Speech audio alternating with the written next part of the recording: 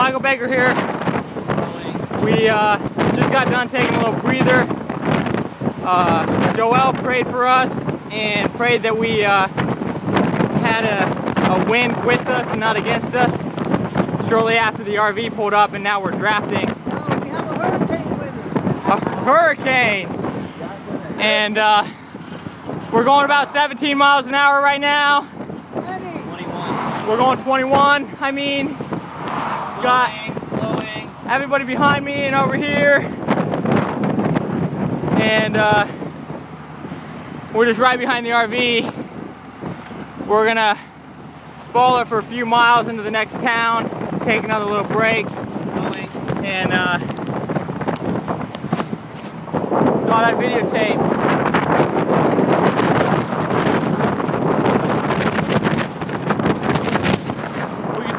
Do this forever.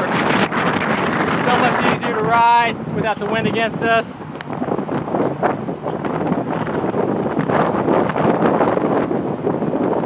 You gotta be careful though and always have your hands on the brakes because you never know when it's gonna stop. How you guys doing? Adam, how you feeling? Okay. So, everything's going good. Talk to you guys later.